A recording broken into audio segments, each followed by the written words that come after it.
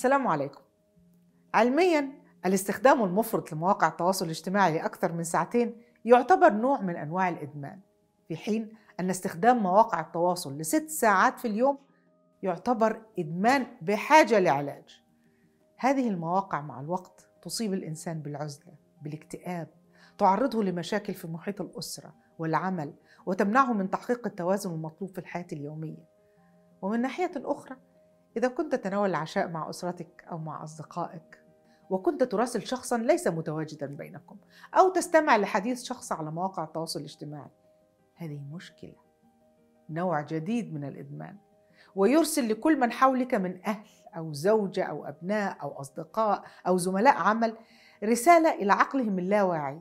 أنتم لستم مهمون حقا بالنسبة لي الآن وهو ما سيؤثر بكل تأكيد بالسلب على علاقتهم بك مستقبلا مع تكرار هذا الأمر بشكل متواصل. حقيقة أنك لا تستطيع أن تبعد هاتفك عنك تفسيرها بسيط. أنت مدمن.